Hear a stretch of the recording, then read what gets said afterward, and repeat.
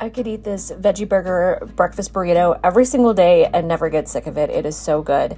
I get my uh, veggie burgers at a place called The Eating Well. If you're in the Chicagoland area, they have a location on Wise Road in Schaumburg, and they come frozen. So I just cook the patty five minutes aside. It gets a great crust on it. That's the mild Southwest one. It's got carrots, quinoa, amaranth. Uh, uh, coconut milk, black beans, garbanzo beans, so many different things. And I've just added a scrambled egg, a little bit of cheese, and spinach, and then just pan fried it to get it crispy on the outside. You guys, the best. So good. You guys have to check them out.